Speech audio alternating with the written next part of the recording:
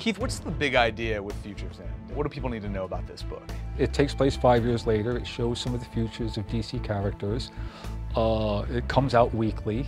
And I guess the main reason to buy the book is just waiting for that like NASCAR incident. when the tire flies off. Yeah, kills a bunch of yeah, you know, like they'll miss a week. So, you know, yeah, uh, come for the story, stay for the crash.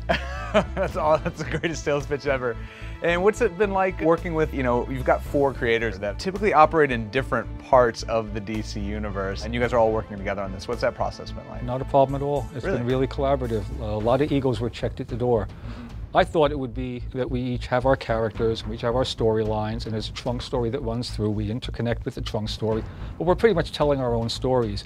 But it hasn't really been like that. I'm watching characters get traded off. Uh, Jeff Lemire and I will be writing an issue together because two of our storylines coalesced. I got Grifter because I, I pulled my usual stunt when it comes to these kind of partnership books, and that was, well, here's all the characters we're going to use. What do you want? And I said, well, you know, I'll wait till all the dust settles and I'll just take whatever's on the table. I got Grifter and King Faraday.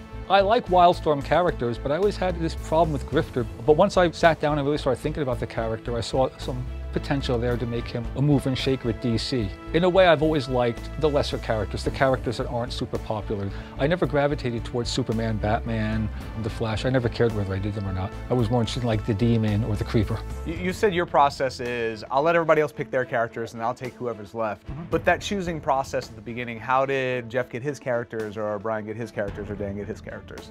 It wasn't like everyone grabbing, uh, uh, jumping on the table and fighting over it. The characters were sometimes assigned to a writer that we thought could do it best. Now, Jeff, of course, he, he wanted to do something with Frankenstein. Mm-hmm. He also wound up with Stormwatch and Big Barda. No one thought twice about giving Batman Beyond being Brian Azzarello. I think he might have brought Batman Beyond to the project. And also, he had such a great take on Mr. Terrific that he wound up with that character. Dan Jurgens also had a great idea for Firestorm, and he wound up with Tim Drake. And he's the one dealing the most with Lois Lane right now, even though she was also looked as a round robin character that we could utilize when we need some exposition.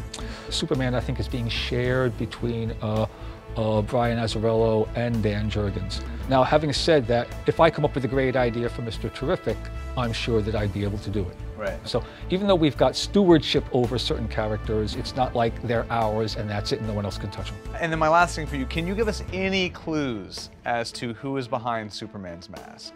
No, I can't. Dan Jurgens would kill me. But I will say that I don't see people figuring this one out. I, I, I, I don't see them guessing this one.